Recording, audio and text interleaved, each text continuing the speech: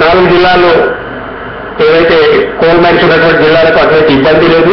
మిగతా ఇప్పుడు సుధాకర్ గారు చెప్పినట్టుగా మనకు రావాల్సినటువంటి ఈ ప్రాపర్టీ ట్యాక్స్ నుంచి మిగతా పురపాలక సంఘాల నుంచి రావాల్సినటువంటి వాటి అందువలన లైబ్రరీస్కు ఆర్థిక పరిస్థితి కల్పించడం కదా ముఖ్యంగా లైబ్రరీస్లో లైబ్రరీస్ ట్రైన్ లైబ్రరీస్ లేనటువంటి దుస్థితి మనకు ఎక్కువ కనిపిస్తా ఉన్నది. వాళ్ళకు దాని మీద ఏది లైబ్రరీ నడపాలనేటువంటి అభిలాష ఉన్నటువంటి వారు మనకు కనిపించలేదు లైబ్రరీలో నా యొక్క ఎక్స్పీరియన్స్లో చెప్తున్నాను. లైబ్రేరియన్ ఆ రోజులలో ఐదు వేలు ఆరు వేలు శాలరీ ఉండేది use to engage one man for five hundred rupees అయితే use to get I have inspector four libraries I suspended two three librarians because they were drawing salaries and engaging I unemployed youth in their case so ఇటువంటి సంఘటనలు జరుగుతున్నాయి. ఆర్థిక పరిస్థితి సమకూర్చినంత మాత్రాన్ని సమస్యలు పరిష్కారం కావు.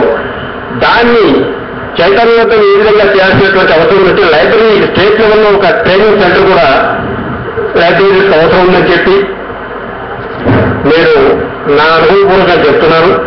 Libraries వార్తాపత్రికలు ఎంతైతే మనకు అవసరమో అదేవిధంగా లైబ్రరీస్ కూడా అవసరం ఉంది.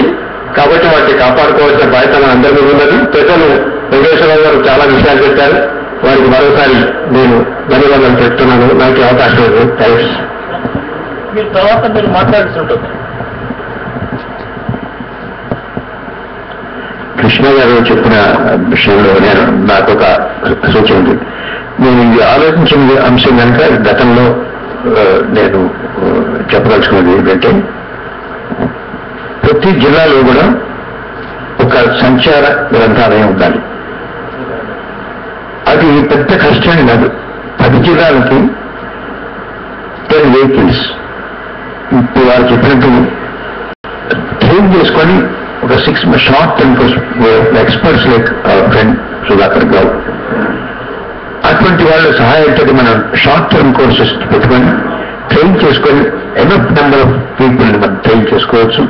వాళ్ళ సహాయంతో ఇటువంటి సంచార లైబ్రరీలు పెడితే వారు చెప్పిన ప్రాబ్లం సాల్వ్ అవుతుంది. ముఖ్యంగా హైదరాబాద్ సిటీ లాంటి చోట్ల డిస్ట్రిక్ట్ హెడ్ క్వార్టర్స్ టౌన్స్ లోను అటువంటి ఆ, మనం ఏర్పాటు చేసుకోవచ్చని నా ఉద్దేశం అండి. మీరు సార్ ఇప్పుడు వెళ్తున్నారు.